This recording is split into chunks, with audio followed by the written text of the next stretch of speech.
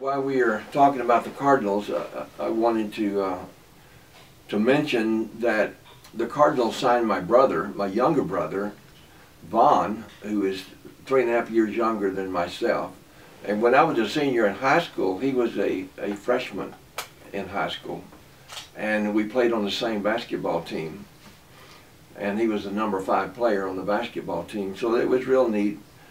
And, uh, and so when he graduated from high school in 1957, then he, he came up to try out for the Cardinals just like I had done uh, before then. And I had a good rookie year in 1956. You know, I was seven wins and six losses, but, you know, for just starting out at the big league level without any other experience in professional baseball, that was real good. And, and so, and I was doing, I was a starting pitcher in 1957. But but they signed my brother in May that year when he graduated from high school. He came up and tried out, and he signed for fifty thousand dollars, just like I had signed, uh, a bonus player. And uh, and so he went, you know, straight to the big leagues, and we were uh, roommates, and we traveled by train, and it was real neat to have my younger brother, and I could kind of be his mentor, mentor, and and uh, and introduced him to the big leagues. And I was the big brother. See, I've had one year experience, so uh, so that was real neat. And and Vaughn won his first four games, and it was qu quite exciting. And every time he would start, uh, they'd fill the stadium up in St. Louis with standing room only. And so so they got their money back on Vaughn really fast, the $50,000 bonus and uh, and so we uh, we got big publicity because we were brothers, and it reminded people of the Dean brothers, uh, Paul and Dizzy Dean, for St. Louis, and so St. Louis was kind of going wild at that time. And we got uh, major write-ups in even Life magazine and uh, Sports Illustrated, and uh, so we're being covered nationally and Vaughn was, especially, he was 18, he was a bachelor, and that was my first year of marriage, actually. And, uh, and Vaughn was getting fan mail uh, like Stan Musial was, you know, just buckets of fan mail all the time. And uh, we'd spend, uh, after the ball game, we'd go out to the parking lot and we'd sign autographs for the kids and young people for uh, a long time. And, and so it was an exciting time, and we got into a pennant race with the Milwaukee Braves and almost won the pennant. We tailed off at the end, and uh, but uh, they even had a, a, a trainload of people from Oklahoma that came, the Vin, uh, Lindy and Vaughn Express, you know, and it came to St. Louis from Oklahoma. So, so we had a lot of really neat uh, experiences that year uh, together. So I wanted to kind of bring that in, and the next year just totally fell apart.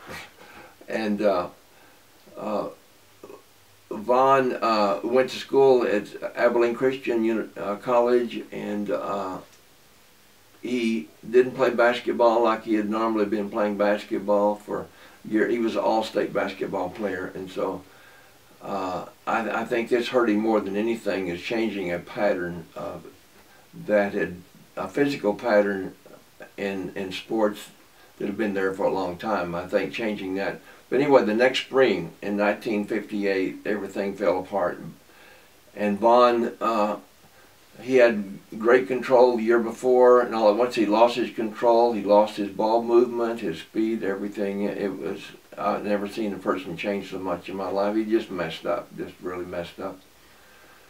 And uh, and got sent to the minor leagues uh, at that point because at, at, that point in time uh, you could be a bonus player but they could send you down. So they changed the rules on bonus players. And uh, so I would keep up with him uh, everywhere he would go.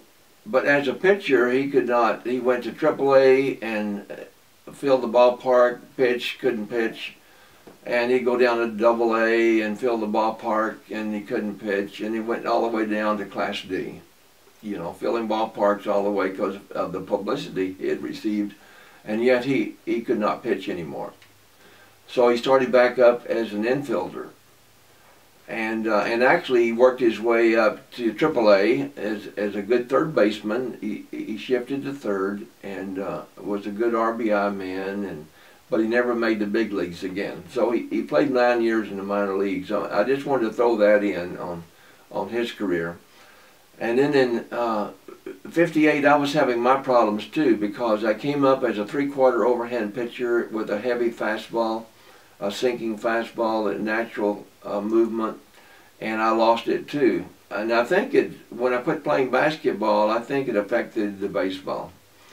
And uh, and so, so in 58, I started two baseball games that I didn't get even one hitter out. And, and, and so I was having my problems as well.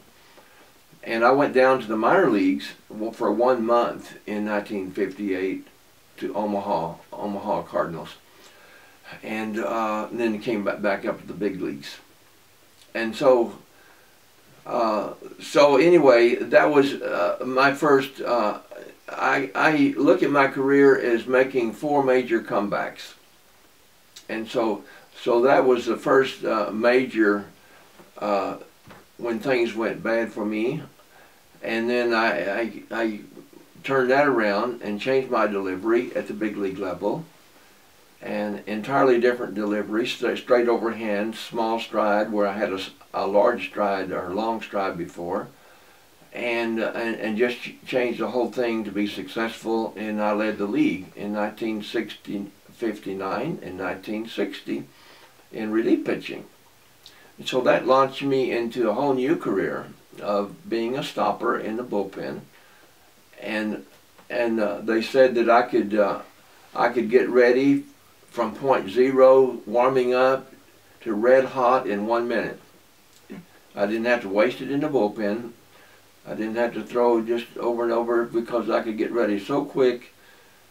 And uh, so uh, I had the temperament for that kind of work to come in under pressure with the bases loaded and everything and, and stay cool and and uh, throw strikes and and get hitters out. So so uh, that that became my uh, main thing is is relief pitching.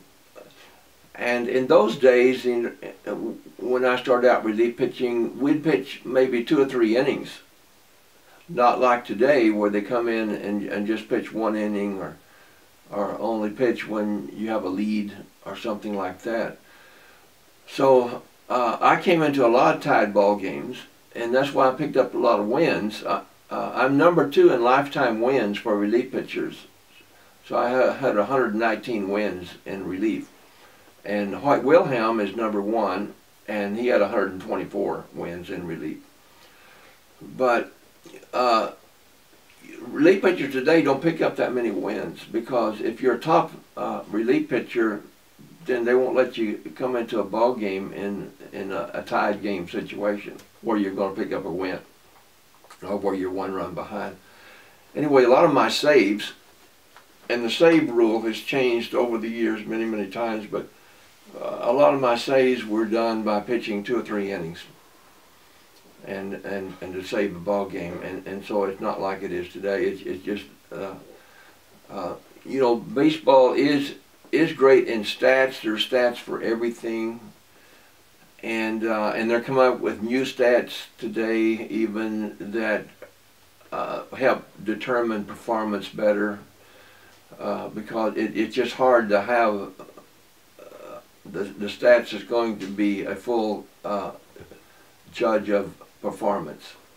Anyway, we could talk a lot about stats in baseball because that's uh, baseball is full of those things. So.